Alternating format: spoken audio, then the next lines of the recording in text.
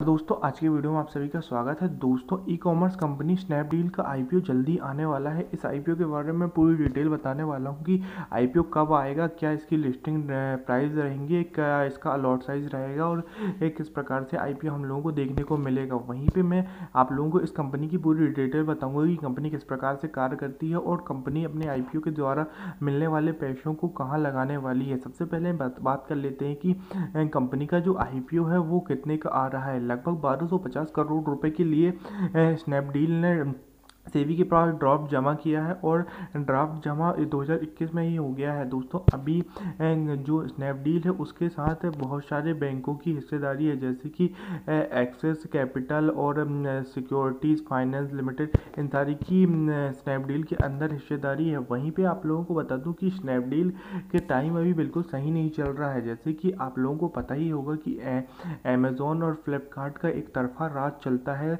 E commerce website में, और अभी के टाइम टाइम में थोड़ा थोड़ा मीशो हम लोगों को देखने को मिल रहा है। मतलब स्नैपडील की जगह हम लोगों को मीशो एक ऐप है जो कि स्नैपडील की जगह लेते हुए देखने को मिल रहा है। वहीं पे हम स्नैपडील के गत वर्ष मतलब जो पिछले वर्षों के प्रॉफिट्स और लॉस की बात करें तो स्नैपडील की लगभग 2021 में बिक्री जो हुई थी वह लगभग चार सौ इकहत्तर करोड़ रुपए की हुई थी। और वहीं पे उसके पहले की बात करें तो 2020 में इसकी जो बिक्री हुई थी मतलब इसका रेवेन्यू जो जनरेट हुआ था, वह लगभग 850 करोड़ रुपए का हुआ था। और इस मतलब 2021 में इसकी 40 परसेंट कम बिक्री हुई थी। वहीं पे हम 2021 के मतलब कंपनी अभी के टाइम में पूरे घाटे में चल रही है ऑल ओवर हम लोग देखें तो 2021 में इसका घाटा जो है वो 125 करोड़ रुपए था और वहीं पे 2020 की बात करें तो 2020 में जहाँ पे इतना ज़्यादा एक कंपनी ने माल सेल किया था मतलब रेवेन्यू जनरेट किया था, पर उसके साथ साथ उसका नुकसान भी उतना ही ज़्यादा था। लगभग दो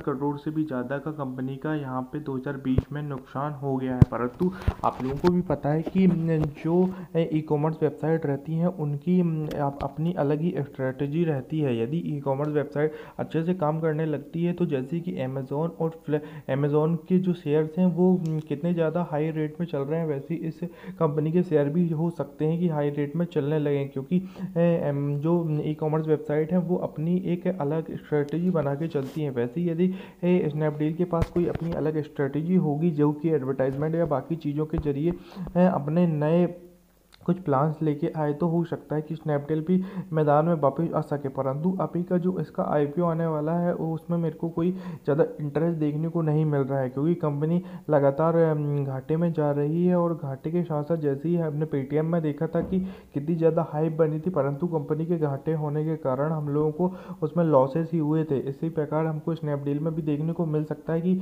हाइप ज़्यादा बने और लॉस भी हम लोगों को देखने को मिले। वहीं पर यदि स्नैपडील कुछ नई स्कीम स्कीम लेके आ जाता है, जिसके ज़रिए स्नैपडील का एक क्रेज़ बन जाता है।